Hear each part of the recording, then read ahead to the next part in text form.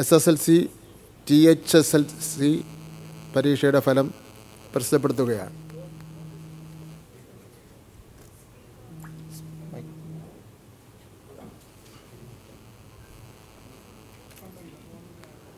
Covid പത്തൊമ്പതിന്റെ പശ്ചാത്തലത്തിൽ പൂർണതോതിൽ നേരിട്ടുള്ള അധ്യയനം നടത്തുവാൻ കഴിയാത്ത സാഹചര്യത്തെ അതിജീവിച്ചുകൊണ്ടാണ് ഈ വർഷത്തെ പരീക്ഷകൾ വിജയകരമായി പൂർത്തീകരിച്ചത്.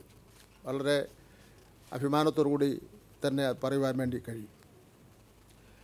കേരളത്തിലെ ലക്ഷദ്വീപിലും ഗൾഫ് മേഖലകളിലുമായി രണ്ടായിരത്തി തൊള്ളായിരത്തി അറുപത്തി ഒന്ന് സെന്ററുകളിലായി നാല് ലക്ഷത്തി ഇരുപത്തി ആറായിരത്തി നാനൂറ്റി അറുപത്തി ഒൻപത് വിദ്യാർത്ഥികൾ പരീക്ഷ എഴുതി. ഇതിൽ രണ്ട് ലക്ഷത്തി ഏഴായിരത്തി തൊള്ളായിരത്തി ഒൻപത് പേർ പെൺകുട്ടികളും രണ്ട് ലക്ഷത്തി പതിനെട്ടായിരത്തി അഞ്ഞൂറ്റി അറുപത് പേർ ആൺകുട്ടികളുമാണ്. ഒരു ലക്ഷത്തി തൊണ്ണൂറ്റി ഒന്നായിരത്തി മുന്നൂറ്റി എൺപത്തി രണ്ട് വിദ്യാർത്ഥികൾ മലയാളം മീഡിയത്തിലാണ്. രണ്ട് ലക്ഷത്തി മുപ്പത്തി ഒന്നായിരത്തി അഞ്ഞൂറ്റി ആറ് വിദ്യാർത്ഥികൾ ഇംഗ്ലീഷ് മീഡിയത്തിലും. രണ്ടായിരത്തി മുന്നൂ മുന്നൂറ്റി മുപ്പത്തി ഒൻപത് വിദ്യാർത്ഥികൾ കന്നഡ മീഡിയത്തിലും ആയിരത്തി നാനൂറ്റി നാൽപ്പത്തി രണ്ട് വിദ്യാർത്ഥികൾ തമിഴ് മീഡിയത്തിലുമാണ് പരീക്ഷ എഴുതിയത്. S S L C private വിഭാഗത്തിൽ നാനൂറ്റൊമ്പത് പേർ പരീക്ഷ എഴുതി.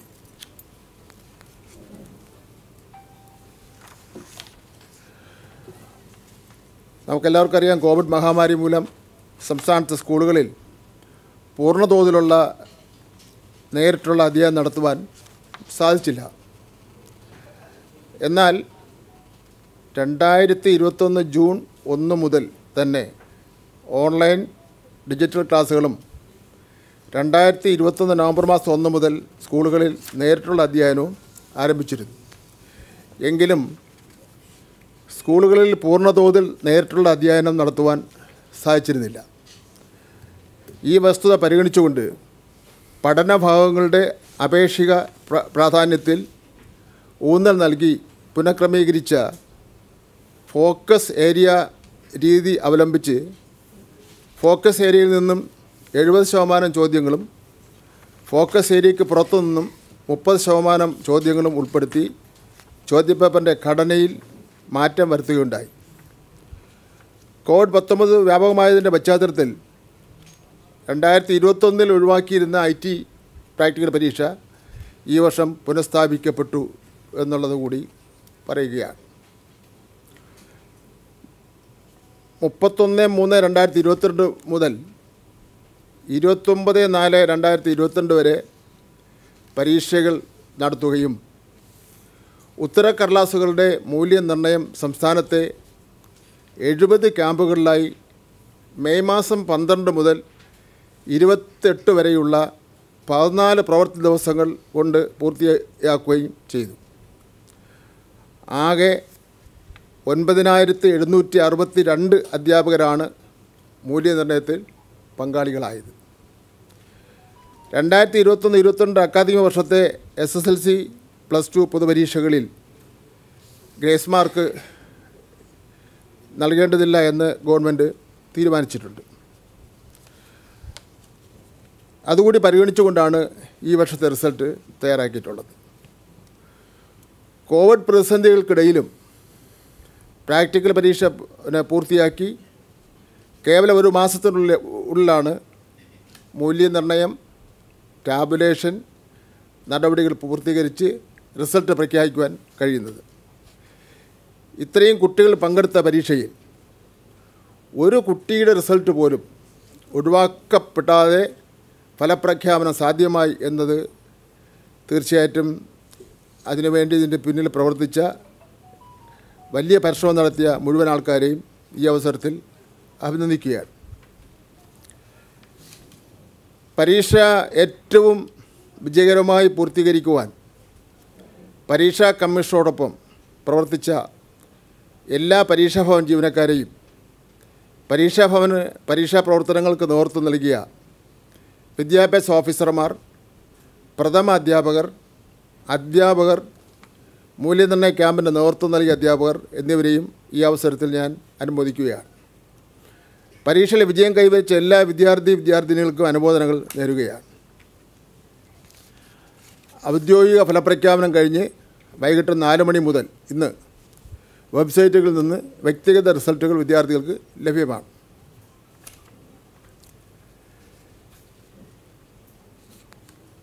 S S L S S L C regular വിദ്യാർത്ഥികൾ. അതിന്റെ റിസൾട്ടിന്റെ അവലോകനം. പരീക്ഷ എഴുതിയ വിദ്യാർത്ഥികളുടെ എണ്ണം. നാല് ലക്ഷത്തി ഇരുപത്തി ആറായിരത്തി നാനൂറ്റി അറുപത്തി ഒൻപത്.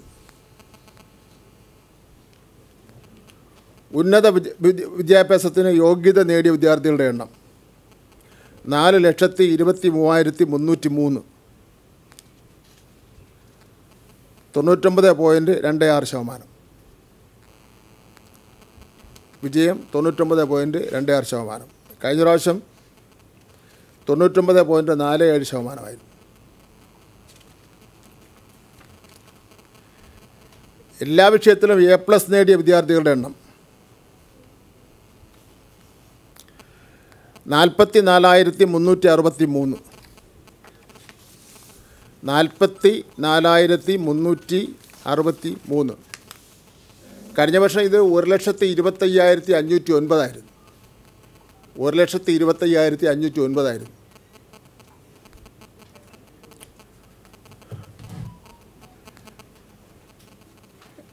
S S L C private വിദ്യാർത്ഥികൾ. പുതിയ സ്കീം.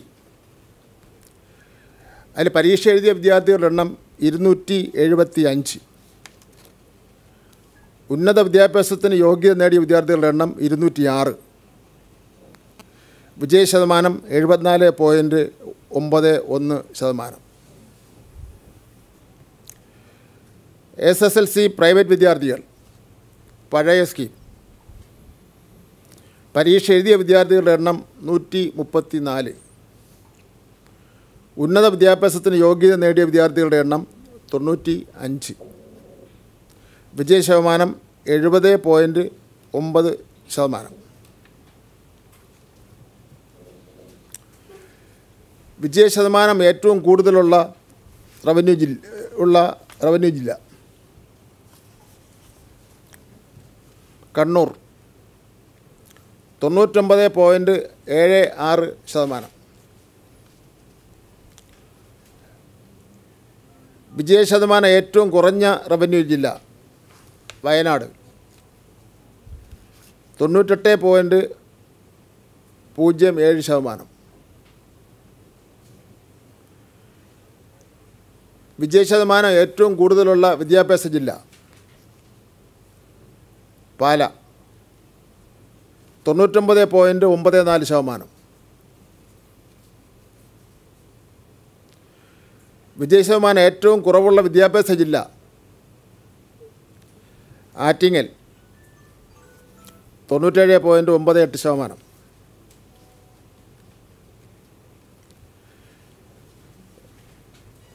ഏറ്റവും കൂടുതൽ വിദ്യാർത്ഥികൾക്ക് എല്ലാ വിഷയങ്ങൾക്കും എ പ്ലസ് കിട്ടിയ വിദ്യാഭ്യാസ ജില്ല. മലപ്പുറം. മൂവായിരത്തി ഇരുപത്തി നാല് മൂവായിരത്തി ഇരുപത്തി നാല്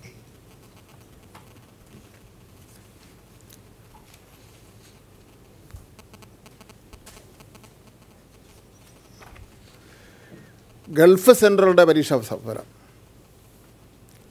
അവിടെ ആകെ വിദ്യാലയങ്ങൾ ഒമ്പത്.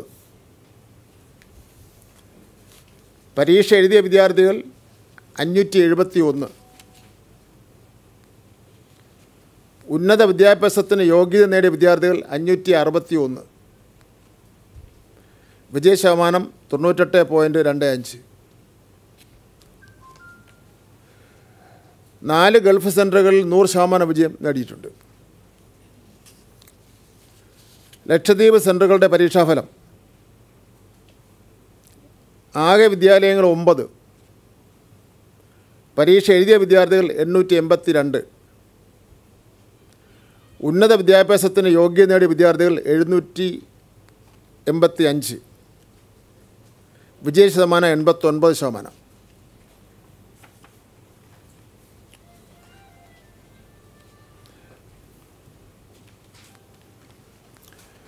കൂടുതൽ കുട്ടികൾ പരീക്ഷ എഴുതിയ centre P K M M H S S Edarikkode Malappuram. P K M M H S S Edarikkode Malappuram. അവിടെ രണ്ടായിരത്തി ഒരുന്നൂറ്റി നാല് വിദ്യാർത്ഥികളാണ് പരീക്ഷ എഴുതിയത്. രണ്ടായിരത്തി ഒരുന്നൂറ്റി നാല്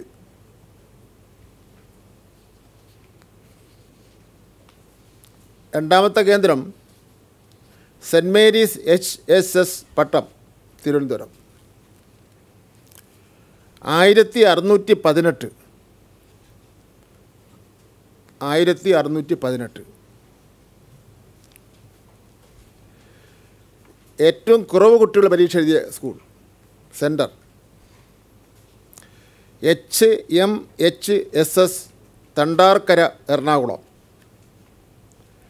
H M H S S Randarkkara Ernakulam. ഒരു വിദ്യാർത്ഥി.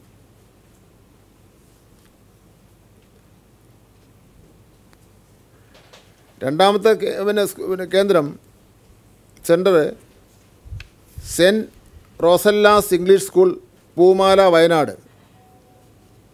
അവിടെ ഒരു കുട്ടിയുണ്ട്.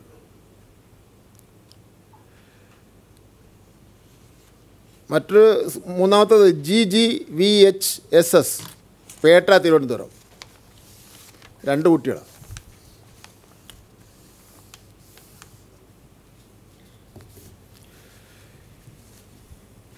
അടുത്തത് technical high school leaving certificate.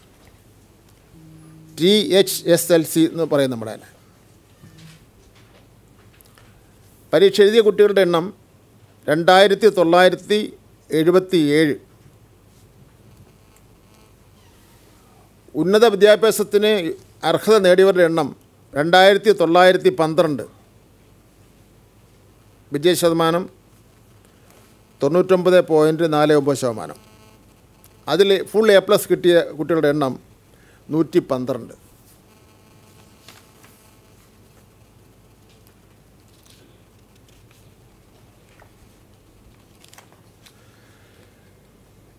S S L C hear hear impaired S S L C H I എന്ന് പറയും.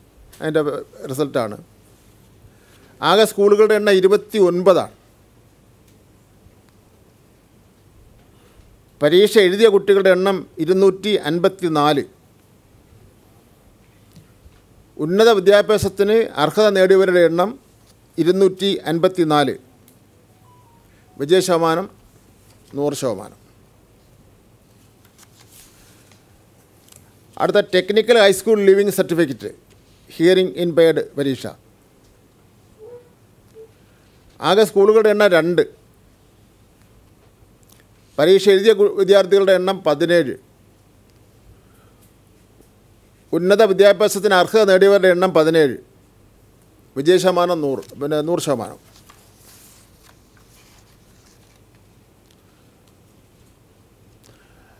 Art high art high school leaving certificate.